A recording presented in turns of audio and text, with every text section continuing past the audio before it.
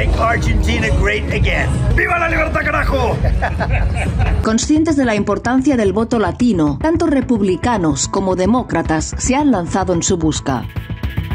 En Estados Unidos, en 2024 hay casi 4 millones más de votantes latinos que en 2020. Lideran la lista de naturalizaciones, encabezada por los solicitantes de origen mexicano. Pero ellos, y también el resto de los migrantes, siguen siendo blanco del odio, aunque su trabajo es vital para Estados Unidos y aunque según las estadísticas sus comunidades son más pacíficas que el resto. The very first bill Joe Biden sent to Congress was a plan to turn illegal aliens into voting citizens. No matter what Crooked Joe says, his actions prove his priority is to import a colossal new illegal alien population and let them all stay.